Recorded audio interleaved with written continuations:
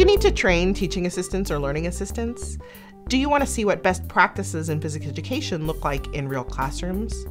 Do you want to learn about how big ideas in physics teaching and learning play out in real classroom situations? Periscope is a set of lessons about physics teaching and learning. Uh, Periscope lessons are each centered on a short video episode filmed in a best practices physics classroom from different places all around the country and each lesson addresses a key topic in teaching and learning, uh, such as uh, what are some uh, key ideas that students have about a particular physics topic? Uh, does it matter if students are unhappy in my class? Or how can I help students uh, work well together in groups? Each lesson comes with a one-page handout front and back to support discussion and uh, guidance for facilitators.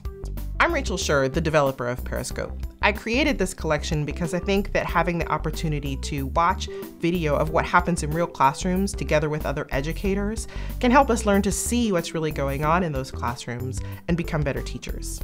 Video lessons are a particularly powerful way to reflect on your own teaching. The episodes in Periscope are short, which means you can play them over and over again to see uh, more about what really happened in that classroom situation.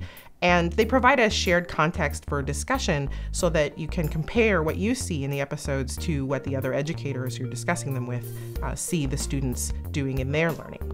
All video episodes are carefully selected to highlight key questions in teaching and learning that arise when students are working together collaboratively.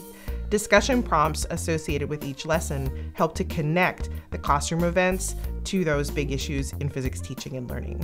Many institutions use Periscope to educate teaching assistants, learning assistants, and faculty about best practices in physics instruction. Whether you want to lead a weekly seminar on physics teaching and learning, help faculty learn about best practices in physics instruction, or explore for your own use, Periscope can help. Periscope materials, including videos, handouts, and facilitator materials, are offered free to educators at physport.org.